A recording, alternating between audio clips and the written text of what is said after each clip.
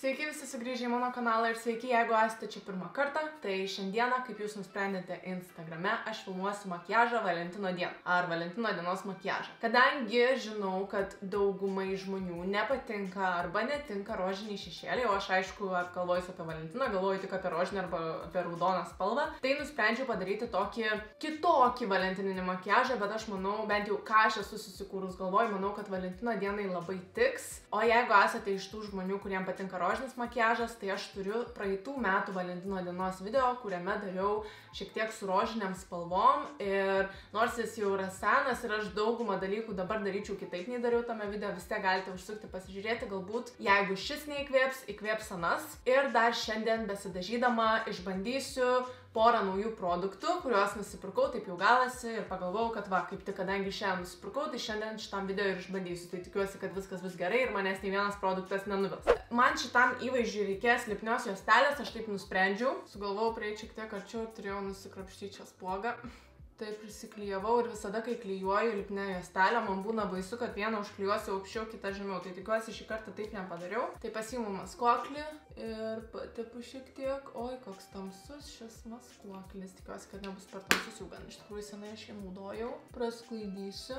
Dabar pasiimu sklaidimo šepetėlį, pasiimu tiesiog paprastą tokią kaip kokosinę spalvą ir su ją užfiksuoju visą voką. Tai iš Too Faced Gold Chocolate paletės imu štai tokia, jinai yra tokia kaip šviesiai ruda, tai ją tikrai rasite bet kokioj paletėj. Ir su ją praktiškai aš einu per aukšlę ir taip pat dažau štai čia kampą. Tai galite ir per visą voką sueiti, čia grinai šita spalva bus tiesiog pereinamoji. Tada paimu šiek tiek tokią tamsesnę rudą, nukratau šepetėlį ir darau labai panašiai, tik tai stengiuosi nepadaryti visko per daug tamsiai. Šiek tiek patamsinu čia kampą ir tada visą kitą sulieju į raukšlę. Dabar pasiimu švarų šepetėlį ir sklaidau viską, kad viskas būtų prasklaidyta šimtų procentų.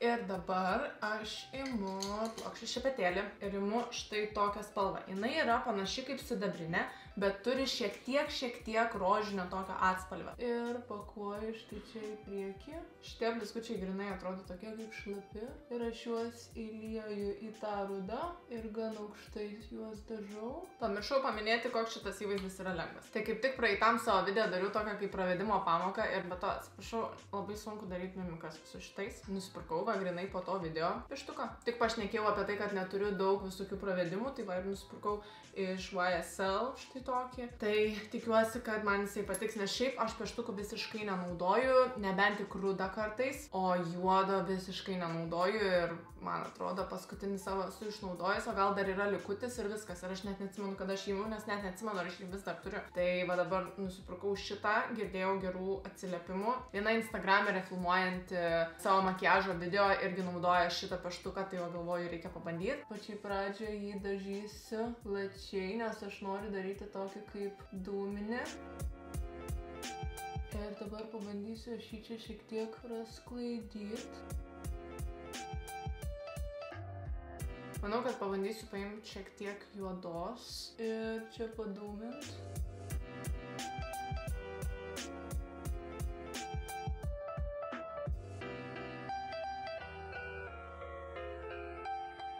Ir dabar darant dušus padažau pieštuką. Pasidažysiu dabar greitai kitą akį, kažkaip panašiai. Man atrodo, kad pasidariau, dabar galima nusiklijuoti ir pasižiūrėti, kaip čia viskas atrodo, ar normaliai, ar nelabai. Tai su šešėliu reikėjo šiek tiek padažyti, tai su peštuku, tai su šešėliu, bet šiaip kol kas man šitas peštukas labai patinka. Tik tais, kad aš visą išspurminu. Ir dabar naudosiu taip pat naują tušą, nusprendžiu nusipirkti dar vieną tušą, nors turiu porą naujų, bet jau senai norėjau išbandyti štai šitą Narso Klimakso tušą. Aišku, pasiimu mažą versiją tam, kad išbandyti ir pažiūrėti, ar man patinka.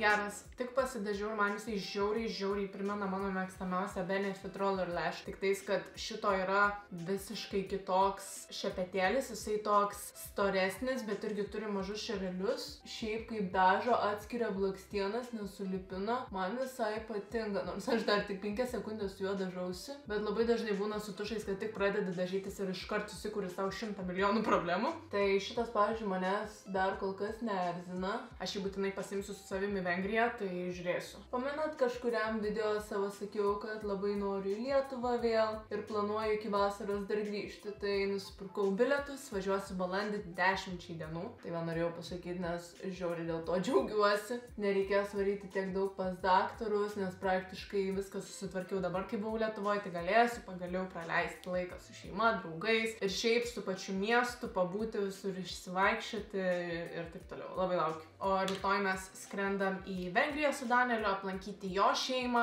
ir pabūti su jo draugais. Tai irgi labai laukiu, būsim gan neilgai, bet aš labai jau senai iš tikrųjų mačiau Danielio šeimą, tai žiauriai džiaugiuosi, kad mes pagaliau važiuojam. Tik žinau, kad Vengrijoje dabar prisnygė belenkiek ir labai šalta. Tai iš vienos pusės fainai, bet iš kitos pusės aš Niekada dar nebuvau Vengrijoje, kai nebuvo vasara. Visada, kai ten nuvažiuodavom, visada, kiek esu kartu buvusi, būdavo plus 40, plus 35, ta prasme, žiaurus karštis. Tai va, gerai, einu užsiklijuosiu greit blakstienas ir grįšiu pratesti pokalbį ir makiažą. Prisiklijavau blakstienas ir dabar galime pradėti. Tašyti sveikim. Tai aš iš karto maišau Mako Strobe Cream su Too Faced pudra, juos kartu. Kaip tik įkėliau vakar į savo storius tokį mini video, kaip pasidažiau ir koks makiažas man dabar labai patinka, toks kaip dieninis. Tai va irgi naudojau šitą kombinaciją ir spaudžiu kažkur vieną su pusę karto ir tada gan nemažai panaudoju šito dalyko, o jisai suteikia labai gražaus švitėjimo, aš jau esu apie jį irgi kalbėjusi šimtą milijonų kartų ir jau jaučiu, o, man jis baiginėjasi, šiek tiek gal per daug paėmiau. Neduoda veidui tokių blizgučių ar kažko panašaus, bet tiesiog labai gražų švitėjimo. Tai kadangi labai jau akis čia yra ryškios, mano nuomonė, tikrai tokios atitraukiančios dėmesio, aš noriu, kad veidas būtų netoks kaukės efektų, o šiek tiek natūralesnis, tiesiog palaikyti tokį balansą. Viena mergina man rašė, kad padaryčiau, man atrodo, šimtadienio makiažą, bet kadangi aš nežinojau, iki kol jinai man parašė, kad artėja šitą šventę, tai aš manau, kad su tokiom akim ar kažką panašaus darant laisvai galima eiti ir šimtadienį. Aš atsimenu, per savo šimtadienį iš tikrųjų labai panašų makiažą turėjau. Tai kaip jūs švenčiat Valentiną, ar dar iš viso kažkas švenčia, nes anksčiau būdavo labai mada gal tokia, sakyčiau, kad Valentino diena kažkaip labai atšvesti, paminėti, o dabar kaip tik yra tokia mada, kad maždaug... Aš nešvenčiu Valentino dienos, nes aš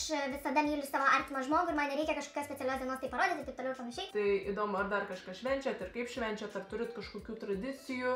Mes asmeniškai nelabai švenčiam, būna prisidėliojam kokių žvakių, tai aš padarau kokį piragą, pasižiūrim filmą, išgeriam vyno, taip labai paprastai. Šiaip aš sutinku su dauguma, kurie sako, kad Valentino diena nėra kažkokia ypatinga, kad vad būtent tik per ją gali parodyti žmogui, kad jį myli ir kažką nuveikti ten romantiško ar panašiai.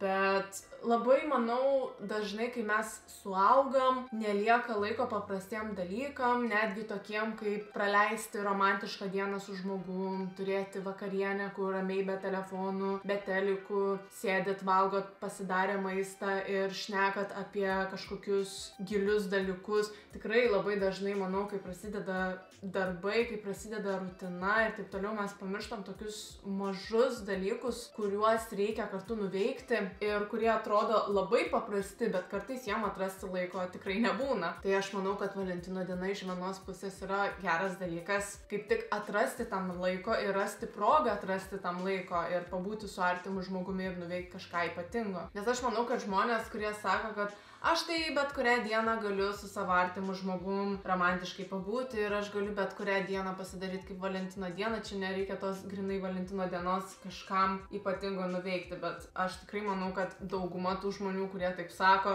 tikrai labai labai retai e, visiškai be progos padaro kažką tokio ypatingo ir nekasdieniško. Tai ir ypatingai, sakykime, kai tik, tik, tik pradedi draugauti su žmogum, Valentino diena tikrai būna kažkas tokio ypatingo, nes tada tu nori dar labiau pasistengti nei bet kada ir padaryti kažką dar geriau ir dar labiau pradžiuginti žmogų. Tai, na, pasitepiau ir maskuoklių ir dabar su Laura Mercier užfiksuosiu tik tais tą savo tai zoną ir vėliau darysiu irgi tą patį, ką dariau savo Instagramo video, tai tuoj prie to prieisim. Ir ką dabar padarysiu, tai pasimsiu savo NYXO paletę štai šitą kontūravimo, pasiimu didelį šepetėlį ir va štai šitą spalvą. Čia yra toks kaip iluminatorius, gal sakyčiau, švyti, bet man labai patinka, kad labai natūraliai galima tiesiog praeiti per veidą ir suteikti tokio gražaus švytėjimo, tik tais irgi nereikia žiauriai padauginti. Tai jūs visur matysit šitą Too Faced bronzerį, man jisai žiauriai patenka. Kiek dažausi, tiek aš jį turiu paimti, bet jisai taip lengvai prasisklaido. Nu, vienu žodžiu. Neturiu nusiskundimų. Ir dabar pasimsiu Physicians Formula bronzerį ir su juo praeisiu jau per visas veido vietas. Dabar pasiimu Laura Mercier dar pudros, šiek tiek daugiau nei paprastai naudočiau sausos pudros ir maždaug nuo ausies šono piešiu tokią kaip liniją iki burnos ir tą patį noriu padaryti su nosim. Ir skaistalam nusprendžiau irgi naudoti Narso. Čia yra irgi mažiukai tokie ir jie yra spindintis, tai kadangi aš čia visa tokia kaip ir spindinti, tai galvoju naudosiu ir nematinius uh, skaistalus. Aš atsimenu per savo makiažo kolekcijos video apie juos kalbėjau, kad aš jų visiškai nenaudoju, nes jie labai ryškus ir taip toliau, bet aš iš tikrųjų jų niekada nebuvau taip normaliai panaudojus. Tai vėliau, kai pabandžiau, tai savęs klausiau, kodėl aš normaliai neišbandžiau ir smerkiau tos skaistalus, kai net nepanaudojau ir nepamačiau, kad jie žiauriai gražiai ant veido atrodo. Pasakykit man, kodėl man reikėjo tiek daug panaudoti.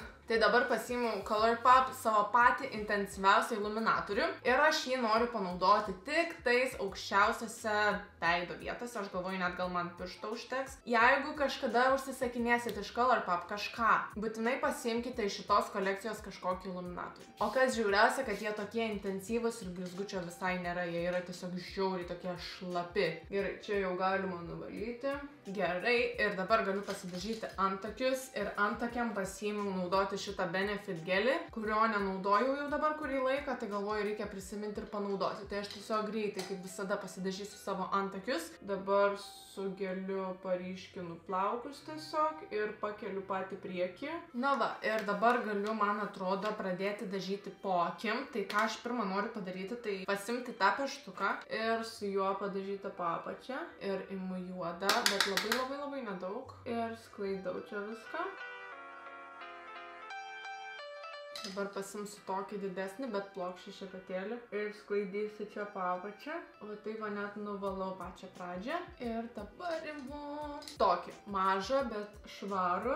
Ir įmaišau čia į kampą tą juodą ir sklaidau. Dabar pasimsiu tos šviesiai rudos, kurią naudojau pačioj, pačioj, pačioj pradžioj. Ir dažysiu po apačią. Ir čia viską bandysiu sklaidyti kartu. Maždaug uždūminau tą apačią ir dabar padažysiu su tušu. Ir pasiemu pasiėmus tą iluminatorių, kurį naudojau prieš tai, aš noriu padažyti akių pradžią ir sujungti su šešėliu ir šiek tiek nutesti po apačią. Ir dabar padažysiu po antakių. Na va, ir dabar lieka lūpas, tai nusipirkau du lūpų peštukus. Viena mergina padarė Instagramo video, kuriame naudojo šitus peštukus ir tai buvo, man atrodo, jos mėgstamiausias lūpų įvaizdis. Ir kai jinai sužinojo, kad aš neturiu dar šitų peštukų ir nesu įbandžius, tai aš labai gavau velnių. Tai nusipirkau ir pasirodė pasirodo nusipirkau du skirtingus, bet paliksiu aprašymus apačioj. Tai vienas toks man yra jisai kaip į pilkumą, o kitas gal labiau į rožinę, bet aš žiauriai nenorėjau grinai rožinę. Aš manau, kad aš pabandysiu gal tą